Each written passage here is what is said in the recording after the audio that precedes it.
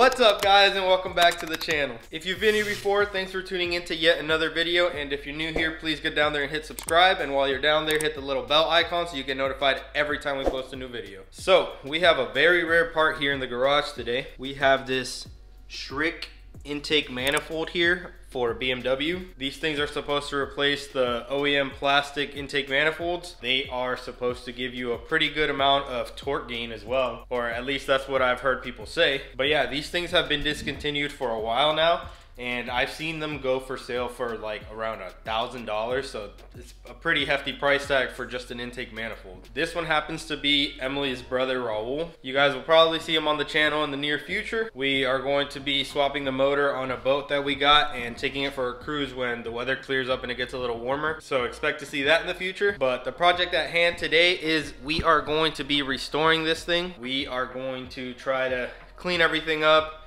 and powder coat it. Let me show you guys a sample. We're going to be powder coating this thing in this desert red wrinkle powder coat so it's gonna look just like that and it's gonna be going on the engine that he's gonna be swapping into his E30 we may or may not be featuring that car on the channel here soon too so yeah we're gonna be sandblasting this thing cleaning it up inside and out and we are going to be spraying it with some wrinkle red powder so first on the to-do list we have to take this heat shielding off at the bottom and we have to remove these ports here on the bottom as well. Basically try to get the whole manifold, just the bare manifold. So I'm gonna be doing that. I also have to take this off and I also want to take all of these bolts off one by one and replace them with bolts that I can powder coat because I don't want to powder coat these. I want to leave them with, you know, the raw finish. And I don't want to take it apart because the gasket, I believe, has been discontinued. It's no longer for sale. So we're gonna be doing that. I mean, worst comes to worst, we'll make a gasket for it. We'll seal it up nice but we're gonna try doing that first.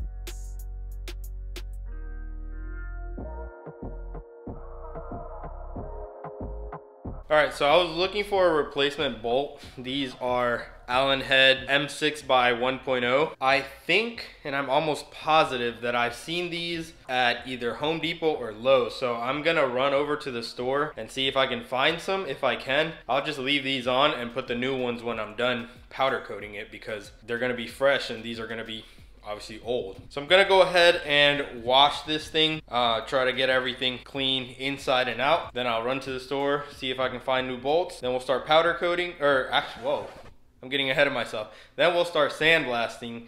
Then we have to clean it, and then we have to bake it for a little bit to get all the contaminants out. Then we have to powder coat.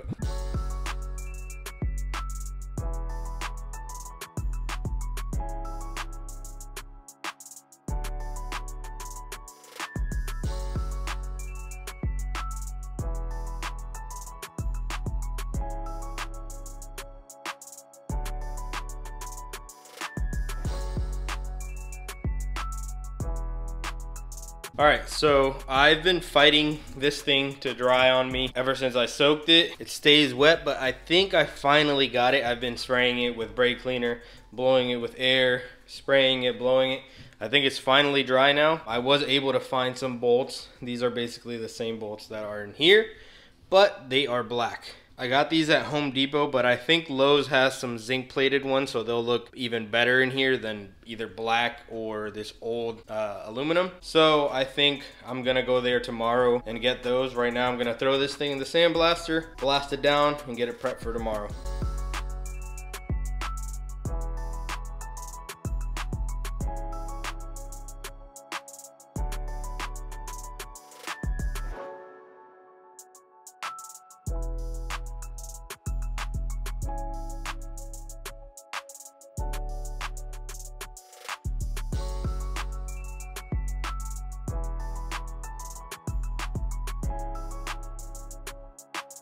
All right, guys, well, here is the prepped product. So we got it all sandblasted. It came out really nice. The only thing I was noticing is all these black spots, they're little imperfections in the actual finish of the intake manifold. So I'm kind of glad that we are going with wrinkle because it'll cover all of that. So I'm gonna call it a night. We basically just have to wipe it down tomorrow, bake it for a little bit to get all the oil contaminants out of the metal, and then we're ready to shoot some powder on it. So I will catch you guys in the morning. All right, guys, new day. Let's jump right into it. So first order of business, I want to hit the bottom of this with a wire wheel so it can be nice bare metal down there as well. Basically, every spot where all the gaskets will be. So right here where the throttle body goes, right there too. And I want to go over it with the wire wheel right here on the badge, just so this can be nice and shiny. After that, we'll wipe it down, throw it in the oven, get all the contaminants out, and then we will be ready for powder.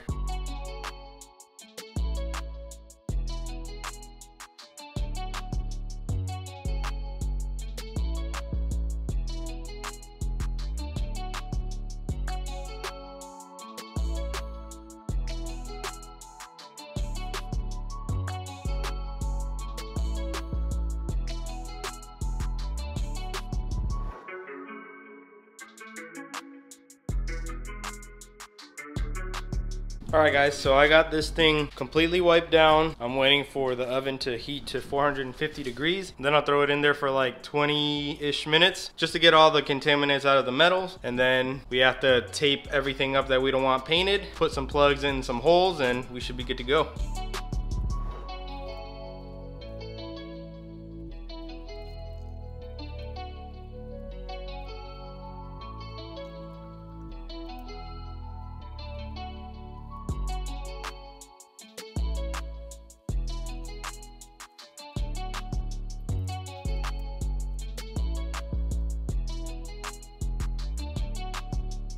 All right, guys, I got it all taped up. Now let's shoot some powder.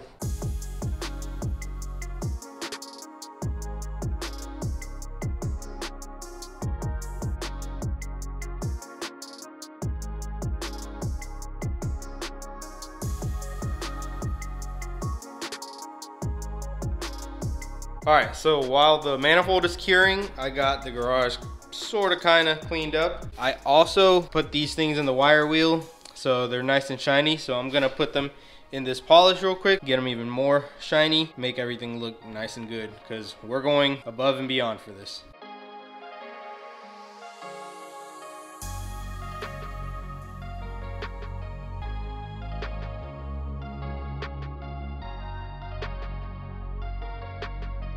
All right guys, so here we have it. So wrinkle desert red. This tape, uh, not as good as I thought it would be, but I think it got the job done. Let's go ahead and take it off. Yeah, so it's not bad. It just, I guess, starts to come off after a while, but didn't let anything go through. So we are good. Bam. So, looks nice and clean. Still gotta get the plugs out and all these bolts, but it's still super hot, so I don't wanna do that just yet. All right, guys, well, this thing turned out super nice. I'm kind of mad that I have to give it back. But if you guys know me, you know I like going above and beyond and doing the most sometimes. So this bracket was looking kind of aged. So I scuffed it up. I'm gonna shoot a coat of primer on there and then hit it with this super nice uh, high gloss black. This thing comes out so thick, it almost looks like powder coat. And the reason I'm doing gloss black and not like a satin black or a matte black, I think, I think a gloss black would make everything pop even more here because like I said we're putting the nice shiny bolts so a shiny bracket on the nice powder coated intake manifold I think would look very nice. So I'm gonna go ahead and get this thing painted and we'll be back tomorrow reassembling everything and it'll finally be all done.